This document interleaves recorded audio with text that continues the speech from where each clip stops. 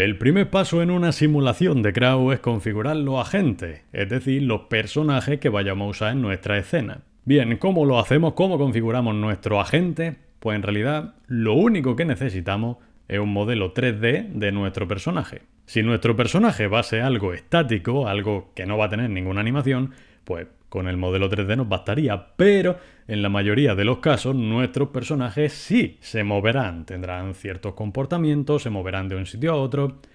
En ese caso necesitamos que el modelo 3D que vayamos a usar esté rigueado, es decir, que tenga un esqueleto. Para estos ejercicios vamos a usar los modelos de Mixamo, mixamo.com, que son gratis, vienen ya rigueados con su esqueleto y funcionan muy bien. Elegimos el personaje que más nos guste aquí en la pestaña de Characters. Yo voy a elegir este de aquí, básico, Mannequin. Aquí está nuestro personaje. Si le damos aquí al icono de la calavera, vemos que tiene un esqueleto. Esto es lo que necesitamos para posteriormente animarlo. Bien, nos vamos ahora a la pestaña de Animations y aquí tenemos un catálogo bastante amplio de animaciones que podemos asignarle a nuestro personaje.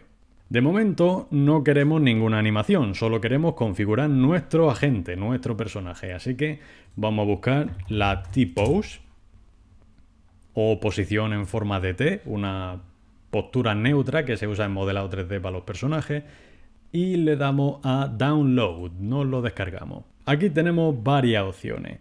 Nosotros vamos a usar modelos en formato FBX, pero ya veremos más adelante que en realidad podemos usar cualquier formato siempre que se pueda importar en Houdini. De aquí vamos a elegir la primera opción, la que viene por defecto. ¿A cuántos fotogramas por segundo queremos que esté nuestra animación? Pues lo más normal en cine es usar 24 fotogramas por segundo. Aquí a la derecha nos pregunta si queremos el rig con el cuerpo también o sin el cuerpo, lo que sería el rig o el esqueleto solo.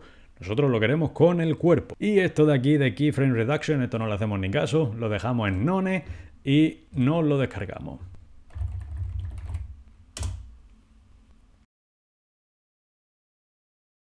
Abrimos Houdini y en el contexto OBJ, en el contexto de objeto, pulsamos la tecla Tab y creamos un nodo Geometry.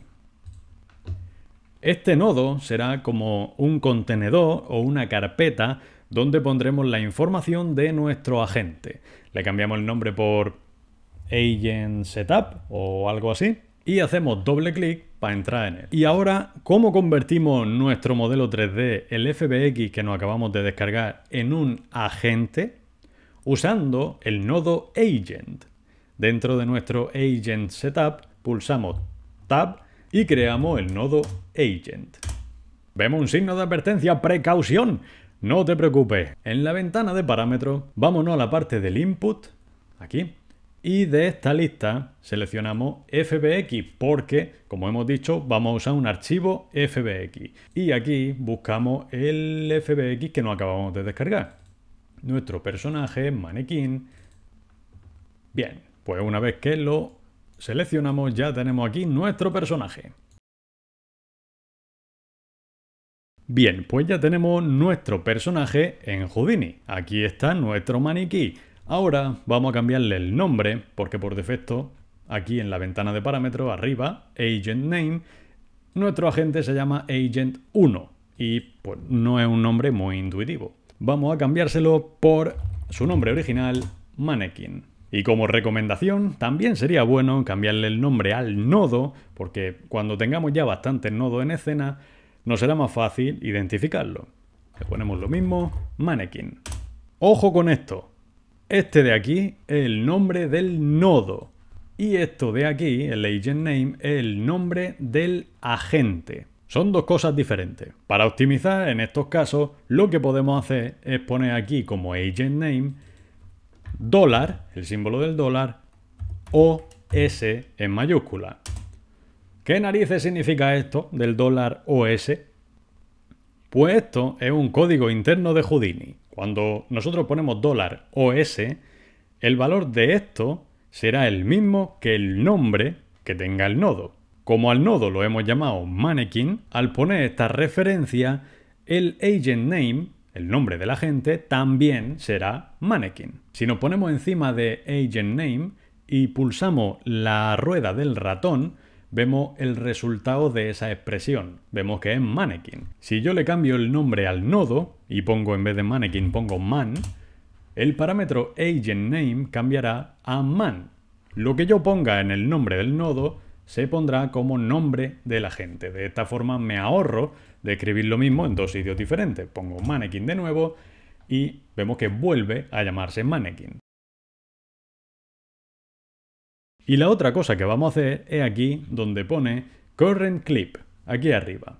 Los archivos FBX son muy buenos porque no solo contienen el modelo en sí, el modelo 3D, sino que también pueden incluir animaciones dentro del mismo archivo. Cuando nosotros importamos un FBX aquí, como hemos hecho usando el nodo agent, en el parámetro current clip si le damos a esta flecha se nos despliega una lista con todas las animaciones que hay dentro de ese archivo FBX. Aquí tenemos una que se llama take barra baja 001 y otra mixamo.com. Si la probamos, ponemos primero el take 001 y luego ponemos el mixamo.com, vemos que la postura es muy parecida. Hay una diferencia, ¿no? En la de mixamo.com las piernas están un poquillo más juntas y la posición de los brazos también cambia.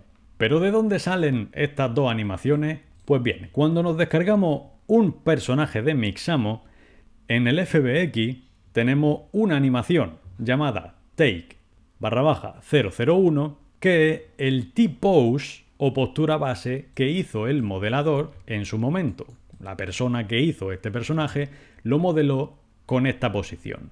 Y la otra que tenemos, mixamo.com, es la animación que hayamos elegido en la página al descargarnos el modelo. En nuestro caso, como hemos elegido la animación de T-Pose, pues las dos son prácticamente iguales. Una es la que hizo el modelador de este personaje y otra es la que nosotros hemos elegido en Mixamo. Si en vez de elegir un T-Pose en Mixamo hubiésemos elegido una animación como este, que está bailando, breakdance, pues la take barra baja 001 sería la que hizo el modelador, esa seguiría siendo la misma, pero mixamo.com sería el maniquí bailando. Dejamos este parámetro, el current clip, lo dejamos vacío porque de momento no queremos ninguna animación en nuestro personaje. Y abajo, nos vamos abajo aquí en los parámetros a la sección de clip. En clip name, este parámetro lo vamos a borrar y vamos a poner t-pose.